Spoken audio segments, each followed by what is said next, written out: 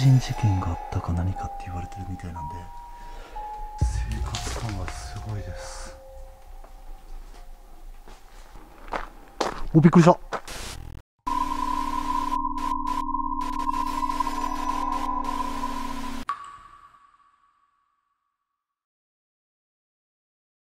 はい、えー、二の岡神社に来ております。この場所はですね、えー、すごい歴史のある神社として有名なんですけども、まあ、600年以上前から存在する、まあ、すごい歴史がある神社でして7つの神々をこの神社一つにまとめたと言われている超パワースポットとして、えー、名が売れたみたいです。ただこの場所はですね夜になるとやっぱり雰囲気がまあもう見ての通りですね。もうすごい一変してですね。まあ霊体験がすごい、まあ、怪奇現象がもう続出していると。外人の霊が出る赤ん坊の霊が出る下の霊が出る。そして火の玉不気味な声。またですねこの場所ではこの神社周りの木で過去に首吊りが何回かあったみたいです。その他にもですねこれすごくまあ珍しいんですけどもこの神社に入ってから行方不明、まあ、すなわち神隠しがあった場所としても有名みたいです。では早速入っていきたいなと思います。今日はちょっと久しぶりの一人撮影でございます。怖いですね。二の岡神社。の車窓ですね。失礼します。奥行きがどのぐらいあるんやろおびっくりした。はい、えー、急遽ちょっとカメラを切り替えたんですが前方にですね人のようなものが映ったと思います。びっくりしました。まさかのホタルの撮影をしている方々がいました。これはね後から来たも僕に責任がありますね。ちょっとここをしっかり抑えたかったんですがどうやらホタルが出てからもしばらく撮影が続くみたいなので今回はこちらの撮影はダメでした。なのでこちらの恐怖レベルはわからないです。次行きましょう。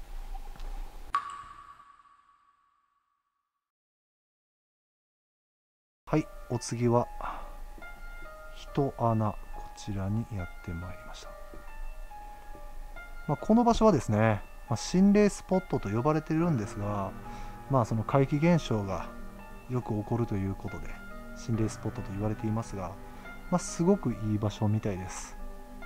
ただやっぱり夜のこういうま神社であったりとか、まあ、鳥居がある場所ですよね。こういったところは中に入ってしまうともう魔物がすごいと。おそらくまあ怪奇現象はそこから来てるのではないかなと。そういうふうに思います。では進みましょう。なんかこの人穴は富士山の火山によってできた洞窟かなんかですよね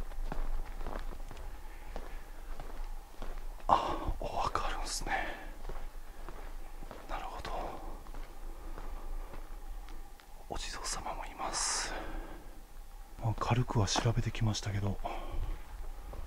あこれが人穴か。すごいな。これが、まあ、火山によってできた穴みたいです。ここにも縄があるのでこの場所を守ってるんですかね。確かに雰囲気はすごいですよ。まあ、でもですね、まあ、今すごいこの真っ暗な状況の中で、まあ、ここに来てるんですがやっぱり怖さはないですね。普通に考えて怖いじゃないですか。こういうところに夜一人で来ると。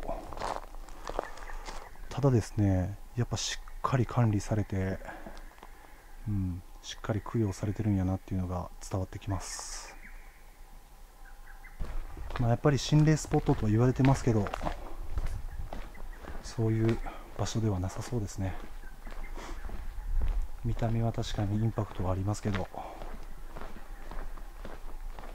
すごくいい場所じゃないですか、まあ、人穴に関してはねパワースポットでもあるので、まあ、悪い場所ではなくこうやって綺麗にされてるからには、まあ、人に見てもらうための今はいい場所になっているのではないでしょうか。なのでこちらの恐怖レベルはお願いします。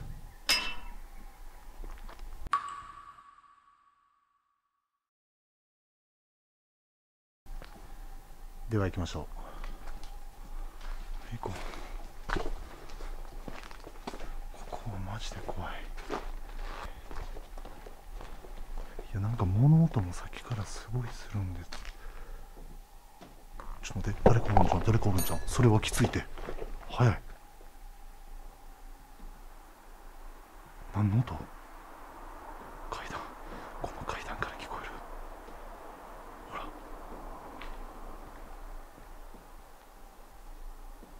降りてきてる。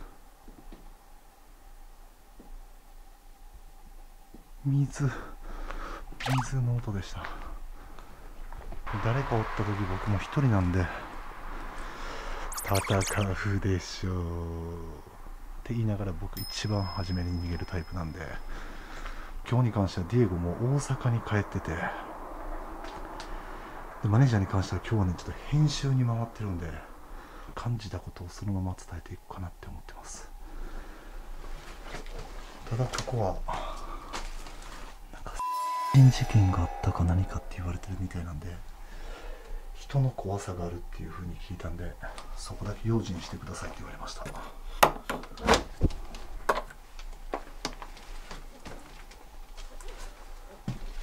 っといかついな。うわしょっぱなからちょっとしんどい。でも確かにね空気すごい悪いです。なんか嫌な感じがすごくありますね。すごいなマジで。とマジで人をおることを想定して進まないと危険っすね。いうかねもう産卵のこの床の産卵具合がやばいっすね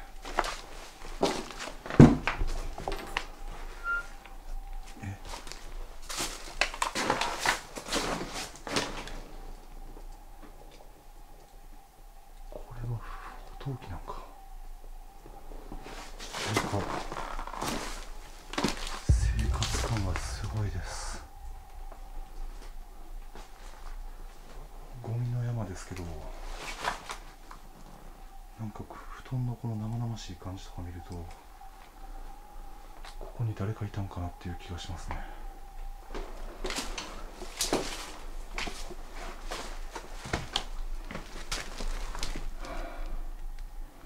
これ、まあ、モデルガンというかエアガンじゃないですか。この場所でまあ殺人があったっていう噂があるんですけどそれはおそらくまあデマ情報らしいですね。ただここで本物のが見つかったのは本当みたいです。もともとここのホテルを管理されていたのが、まあ、いわゆるそういった団体の方々。でそういうものを、まあ、ここに置いていったっていう。そういうふうに言われてますね。じゃあこれで一通り回ったかと思います。で今からですね一応やっぱり霊がじゃあ全くいないのかって言われたらちょっとまあいるような気もします。殺人の話がまあデマっていう話なんですけどどうしてもやっぱこの富士の樹海とつながってるということでやっぱりこういう湿気の多い建物に霊が溜まってもやっぱおかしくないので、まあ、そういった意味からちょっとこの場所でもスピリットボックスそしてトリフィールドの検証をやっていきましょう。トリフィールドこれ知らない方のために説明します。霊っていうのは電磁エネルギーで形成されていると言われてましてその電磁波を数値化してくれる機械ですね。今数値は000です。でこれが、まあ、数値が上がればビュイーンってまあ、高温になるわけですよ。なので画面を映さずにポケットの中に入れておきたいと思います。変化があれば音でわかります。ではスプリットボックスで会話を試みたいと思います。えー、こんばんは、ヤーカツと申します。もしよければお話しませんか？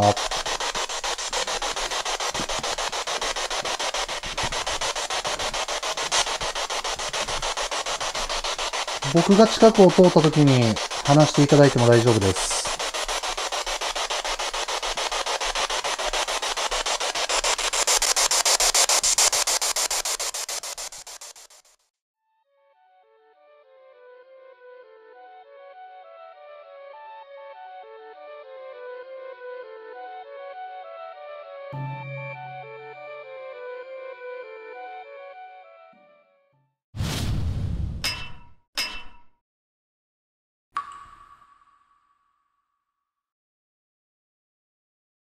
はい、えー、お次の場所が狩宿大橋こちらにやってまいりました、まあ、こちらの場所がですね、えー、実の名所でございます。もう見ての通りですねこの手すりがそんなに高くないんですよね。すぐにこのよじ登れる高さといいますか。なのでここではやっぱり多いみたいですね。中でもここはちょっと女性の霊がよく目撃されるということなので、もう皆さんもご存知の通り、僕はあの箸すごく苦手なんで、もうめちゃくちゃ怖いですね、今。ちょっと先ほど雨が降ってしまったのが、まあちょっと残念というか、あの、濡れちゃってるんで、鉄骨が。ちょっと足跡とかをはっきり確認することがちょっとできなさそうですね。ける範囲で見ておきます。あでも靴跡あるなこれ。ちょっとこれカメラでは分かりづらいんですけど靴跡なんですよ。しかもしっかりですねスニーカーです。でもやっぱりここは身投げの名所としてもかなりやっぱ有名みたいですよ。えちょっと待って。これ花？そうですよね。いやそうやわ。ここの場所でやっぱり多いんや。なのでまずこういう風にリアルに本当にそこであったのかっていうのをまず調べないとですね。まあもちろんそこでまあ人がなかったとしてももう基本的にやっぱこの山と川。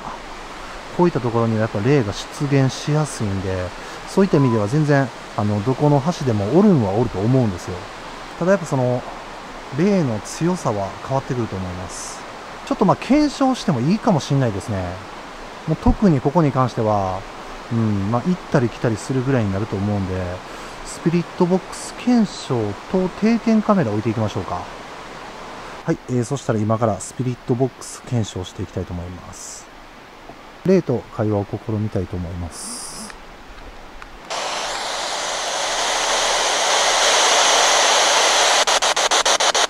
えー、こんばんは、やーかずです。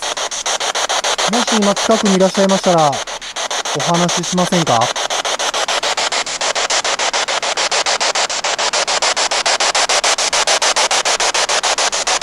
こんばんは。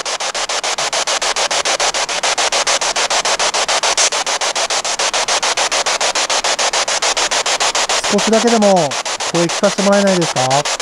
まあ、こういったところに関しては、まあ、みなげスポットなので、話せなくなってるっていう方がやっぱ多いみたいですからね。もしかしたら声を出せない状態なのかもしれないですね。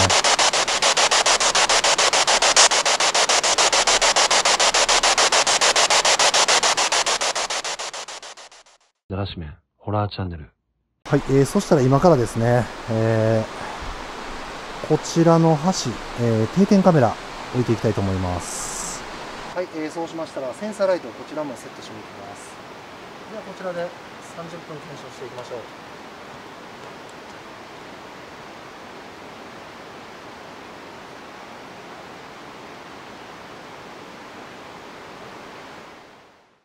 まあでもここはやっぱり橋自体はすごい短いんですけどすごく怖いですね、えー、ここの恐怖レベル。うん。3じゃないですかまあ、それこそ何も起きなかったもののすごくリアルな場所で、うん、すごく気配感じます。次行きましょう。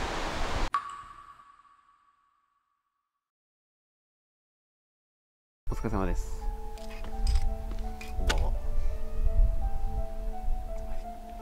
えー、佐久間ダムに来ております。はい。でこちらのダムなんですけど、うん。高さが155.5メートルあります。えすごっ 155? はい。ここ？ここです。実質の名所っていうわけじゃないんですけど、うんここを作る際に96人の方が亡くなったと言われております。で、まあその作業員の例がこのダムと周辺のトンネルに出ると言われております。なるほどなるほどはい。えだっていやまずこれパッて映してほしいんですけど、まあ、佐久間ダムって書いてますよねもうダムを大々的にこの宣伝してるというかはい。あんなちょっとバカでかい看板はちょっとまあ初でしたでプラスライトアップされてるんですよねはい。だから今まででこれ多分ナンバーワンだと思います矢川さん好きそうですよってさっきちらって言うとったやんか、はい。オープニング撮る前にはい。あのああのデートスポットかと思ってなるほど。うん、そっちなんかなと思ったけど高さなんや高さです。う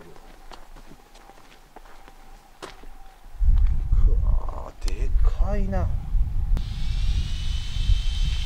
こんな感じですね。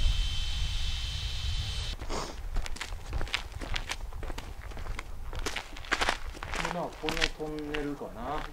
どっちだったら駅品通ってきたトンネルよりこっちやな。ちょっこっちっすね。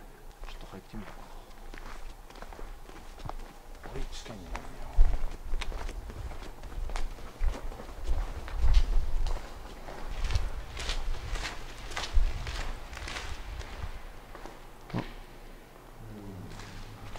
まあ普通のトンネルかな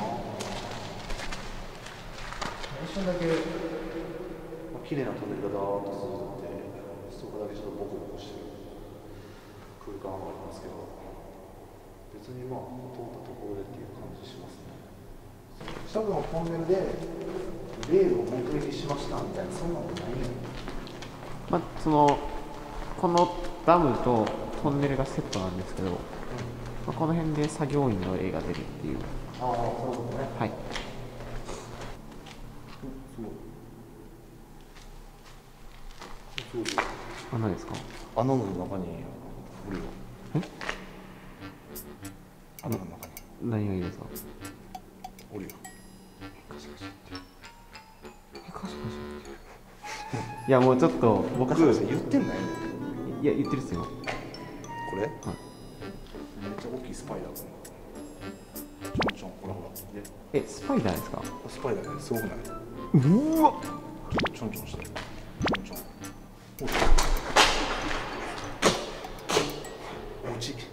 らしめん、ホラーチャンネル。戻ってきたんですけど確かに雰囲気はめっちゃあるんですけどいやこれはもうごめんなさい。あの全然何もいない場所でしょって感じですね。はい。この場所の恐怖レベルはどれくらいですか？1っすね。1で。うん。次行きましょう。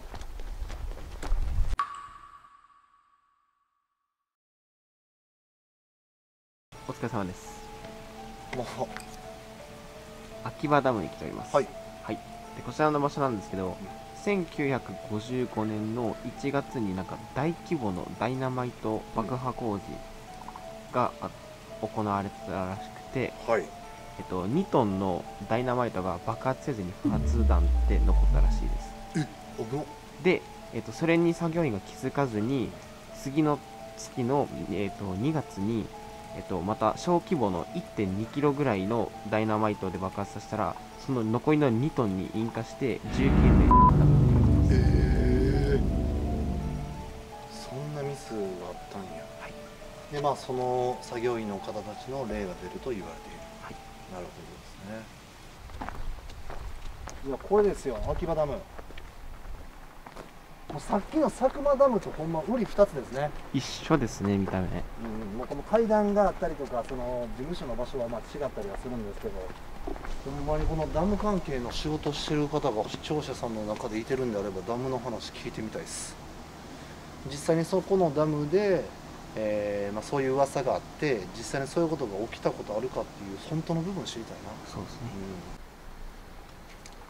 はいえーとダムがこちらにありましてその的内にありましたね、でも逆にこうやってもうめちゃくちゃ綺麗な状態で、そうですね。うん、ちゃんとされてるから、まあ、供養されてんねやろな。花もちゃんと定期的にうん。入れ替えちゃいますね。そうやな。綺麗にされてるっていうことね。まあでもここに関しても、まあ、ほんま一緒なんですよね。感覚と雰囲気が別になんか心霊スポットっていう感じはしないんですよね、まあ、しっかり供養されたからなのか。うん。悪い感じは全くしないですね。この場所の恐怖レベルはどれぐらいですか？まあ1っすね。はい。まあ、雰囲気はとにかくこれはもう佐久間ダムとも同様あるんですけど霊は感じないですね、次行きましょう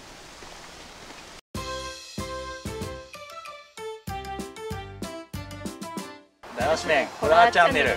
だらし麺ホラーチャンネル。だらし麺ホラーチャンネル。だらし麺ホラーチャンネだらし弁ホランチャンネル。今のでよかった？ルいい？完璧？オッケー。だらし麺ホラーチャンネル。だらし麺ホラーチャンネル。だらし麺ホラーチャンネル。だらし麺ホラーチャンネル。だらし麺ホラーチャンネル。いつも見ていただいてるんですか？はい。はいあこれは見てるな。僕わかるほんまにわかるんですよ。見てる人と見てない人の感じが。どっちがですか先にまあ奥さんが、えー見始めて旦那さんにもちょっと見ようよと。でたまに一緒に見る中であんまり詳しくない。逆です。逆なんすね。これ逆なんすよ。逆なんです。まあこういう時ディエゴおったらディエゴのせいにできますからねだらし麺ホラーチャンネル